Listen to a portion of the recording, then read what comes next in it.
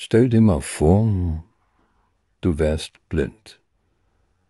Stell dir vor, alle Menschen auf dieser Welt wären blind. Wie würden die Menschen sich wohl verlieben? Was wäre in diesem Moment von der Wichtigkeit her? Der Maßstab für eine Partnerschaft. Sind es die Worte, wie jemand redet? Ist es die Einsamkeit, die dann entscheidet, ob man zusammenfindet, weil man in einem Nichts existiert? Ein Nichts, das keine Farben kennt, kein Licht, kein Schatten, sondern nur die Stimme eines anderen Geistes hört?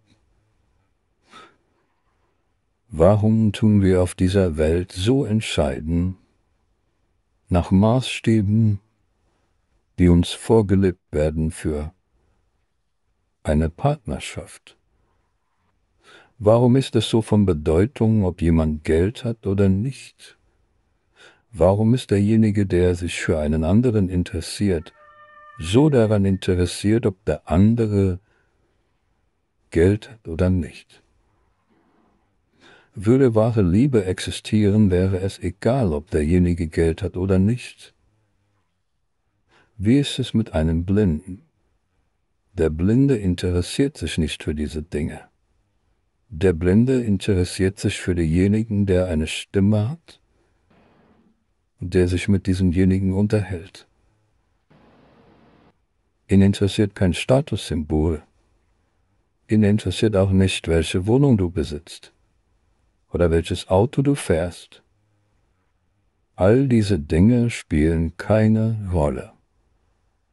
Also warum habt ihr euch so einnehmen lassen von Dingen in dieser Zivilisation, die euch vorschreiben, indirekt wie ein Gesetz, wie ihr euch verlieben sollt und Maßstäbe daraus zieht?